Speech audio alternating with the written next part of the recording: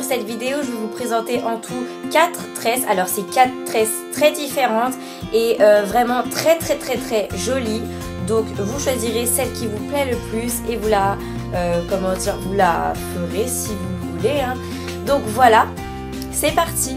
Je vous recommande euh, pour faire des tresses vraiment d'avoir les cheveux le plus, enfin je vais pas vous dire le plus sale possible, mais euh, plus vos cheveux euh, seront sales en fait, entre guillemets si vous êtes à votre premier ou deuxième jour de lavage, et plus la tresse va mieux tenir, puisque si vous venez à peine de vous laver les cheveux, euh, les, les tresses vont glisser.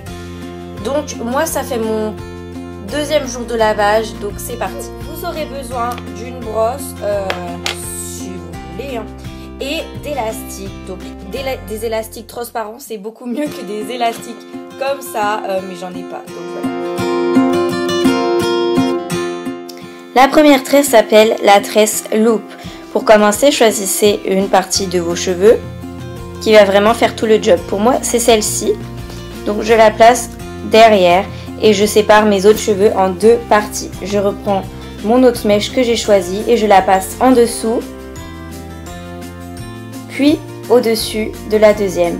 Et je refais l'inverse en dessous et au-dessus de l'autre. Etc. etc. Donc là en dessous. Toc. Et au-dessus. Je fais ça jusqu'à la fin de ma tresse. Et voilà le résultat. Donc la deuxième tresse se nomme la tresse à trois brins. On peut aussi faire la tresse à quatre brins, mais elle est légèrement plus complexe. Premièrement, choisissez une partie toujours de vos cheveux qui vous intéresse, la plus longue, la mieux, enfin bref. Et c'est celle-ci que vous allez choisir, euh, c'est celle-ci avec laquelle vous allez commencer à travailler.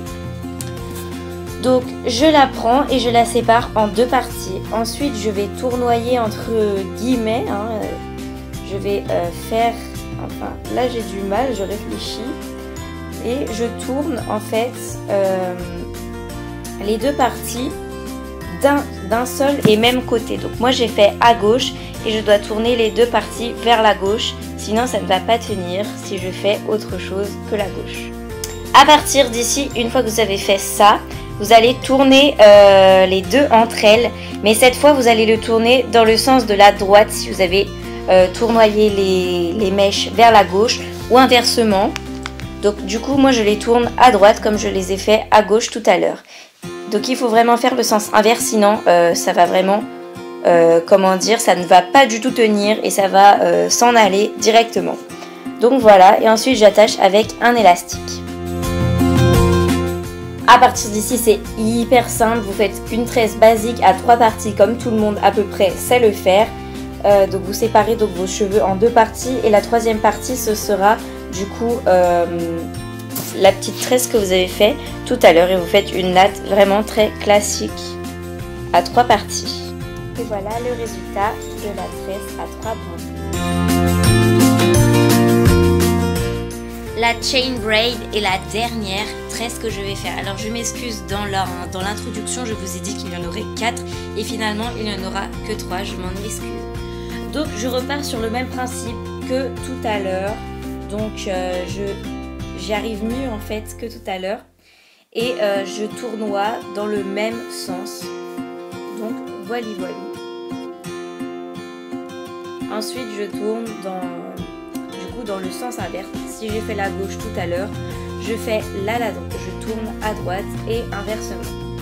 Dans cette coiffure, on appelle ça la chain et j'ai réalisé donc du coup deux chains. J'ai tourné les deux chaînes ensemble et du coup euh, dans le sens inverse, donc pour moi la droite puisque je les ai tournoyés à gauche.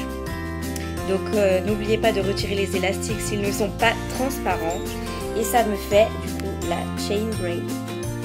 Et voilà le résultat de la chain braid. Cette vidéo est à présent terminée. Je tiens à vous dire que si j'ai changé de cadre entre guillemets de vidéo, c'est vraiment parce que euh, la luminosité a baissé. on est un petit peu le soir, il est 17h46 et du coup c'est pas la meilleure luminosité de la journée. Donc là je suis plus face à la fenêtre que d'habitude, je suis plus de profil à la fenêtre et on voyait vraiment rien. Donc voilà, c'est ma petite explication. Donc j'espère que cette vidéo t'a plu. N'hésite pas à me dire en commentaire la tresse qui t'a le plus plu. Donc n'hésite pas à t'abonner. Je vous fais de gros gros bisous et je vous dis à la semaine prochaine. Ciao